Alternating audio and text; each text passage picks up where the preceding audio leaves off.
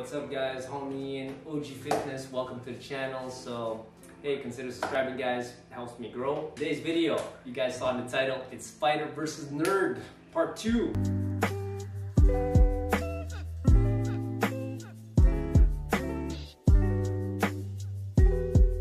I'm making this video because somebody in the, the community put a comment about how they view it differently and it was so interesting to me. I loved it so much, and I even told you in the comments, hey, I'm gonna steal, I'm not gonna steal. Yeah, steal.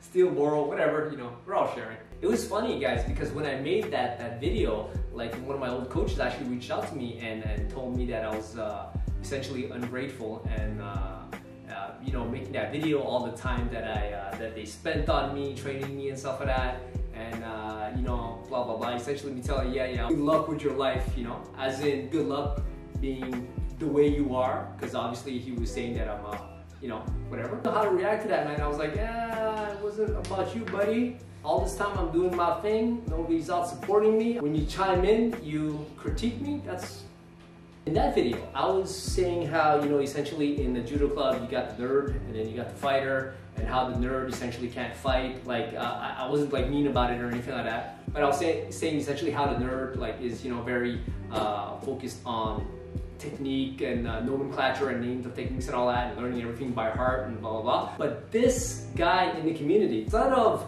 thinking it the way I mentioned it in the last video, I'm gonna talk about it the way it was said in the comments. So now it's really interesting. Instead of having the nerd and the fighter, you have the competitor, then you have the kata competitor, then you have the technician, and then you have the social judoka. That's the beauty of judo. You have space for everybody.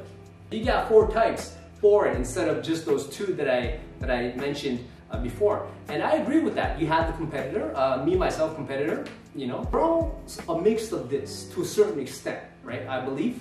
Maybe not the part. Not everybody likes katas. By the way, guys, in, in Quebec, here, to get your black belt, if you do the kata competition, when you get to the exam, you don't have to present the kata. So I'm gonna do the competition because, well, first of all, it's, it's more fun. I like competing and I can win a medal. And after that, it takes one thing less. Like that whole kata thing, I don't have to do it for the exam. I just have to go for the Gokyo. Less work, less stress, you know, and uh, yeah, I'm competitor and social. I, I, like I really like to me. I don't go out. I socialize when I go train, either at the gym or at the judo clubs. Obviously not now. Now I socialize with you guys, a dog, my wife, but hey, it is what it is. I'm also technician too because like I believe in technique. I'm learning for a black belt. Like I'm gonna have to get more very technical and learn everything classic. There you go. So you got four types and everyone's a combination of this. And sometimes you start off as a competitor, but then you want to stay in judo, but you know, you, you don't have time to compete anymore and you know, you have injuries or whatnot. So then, you know, you can do other stuff. You could, you could become a coach, you could become a technician. Technicians are very good at showing techniques. So, you know, all these things are, makes judo like a fun sport because this is what my one of my old coaches used to tell me. He's like, the thing in wrestling is that once your career is over, uh, you know, after you've been to the Olympics and all that shit, and you're all busted up, there's no place for you anymore. There's nothing for you to do, man. Like, uh,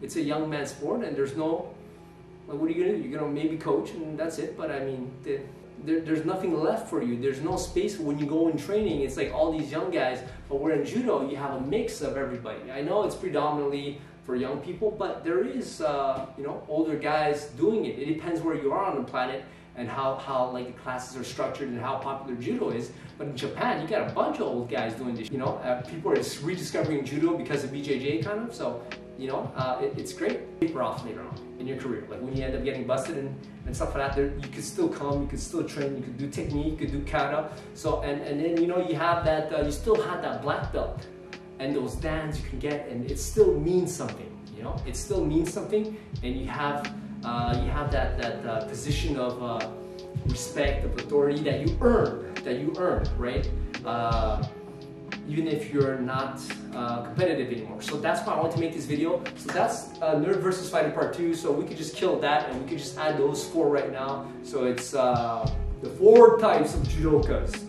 the four types.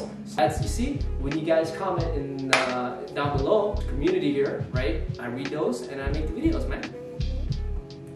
Win-win. Awesome. Love you guys. So thank you very much for watching. Don't forget to like, comment, subscribe, and click on the notification bell. Also, there's a link down below. If you guys click on it, it's gonna bring you to a page where you could follow me on all my social media platforms and you can also apply for, uh, for coaching so that you guys can work directly with me. Also, one last thing guys, if you have any questions, right, send me an email. That's the best way to reach me. I read them and I'll, I'll answer your, your questions, man. All right, peace.